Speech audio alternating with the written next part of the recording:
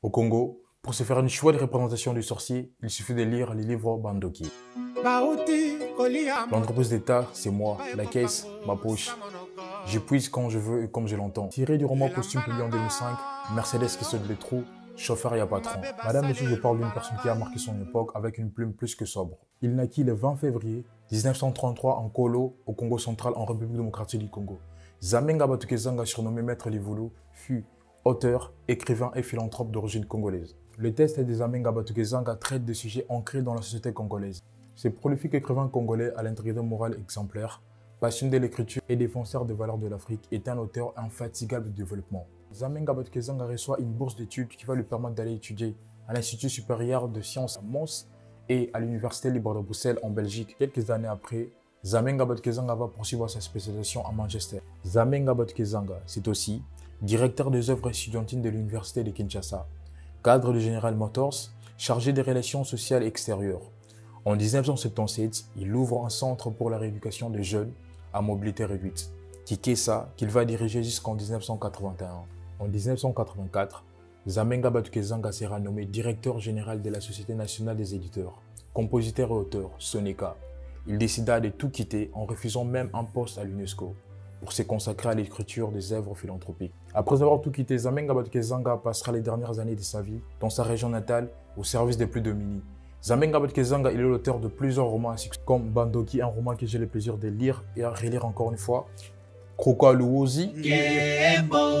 Zabat est aussi l'auteur des Hauts les Bas, Chéribasso, La crâne à maman, Souvenir du village, Carte postale, Les chemins interdits, 1000 km à pied, Mon mari en grève et une vingtaine d'autres œuvres.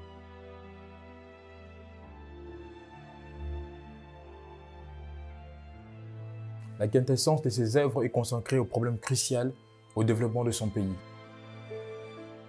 Vous aurez sûrement envie de lire et de relire les œuvres de Zamenga Batukezanga.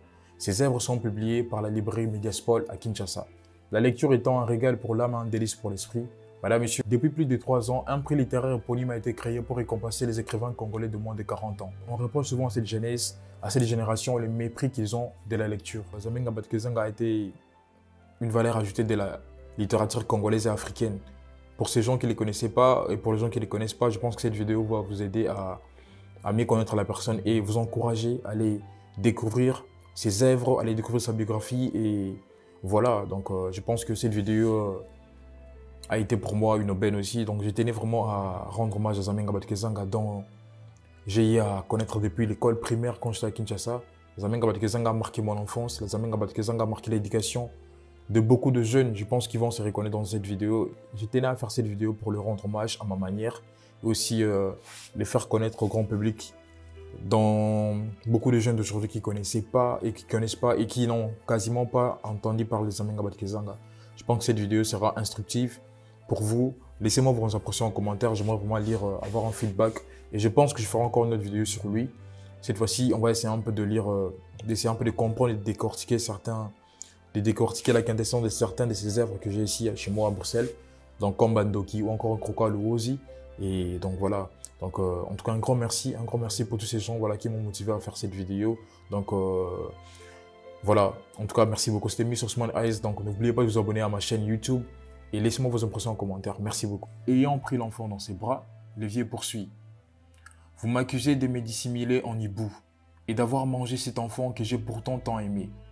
Comment peut-on imaginer une chose pareille? Eh bien, si c'est vraiment moi le coupable, toi, Dieu Tout-Puissant, devant les ancêtres, les vivants et ceux qui nous regardent, ordonne que je meure sur cette croix. Beaucoup de femmes perdent leur voix à force de crier. L'assistance convaincue qu'il n'y a plus d'espoir éclate en un tonnerre de cris, de pleurs. Matondo, ah, tu nous quittes comme ça Entre-temps, dans un autre village, le père de l'enfant ressent quelque chose d'étrange, de terrible, comme s'il perdait quelque chose de lui-même. Puis, il s'endort, mais son sommeil est tourmenté par des cauchemars. Matondo, Matondo, Matondo.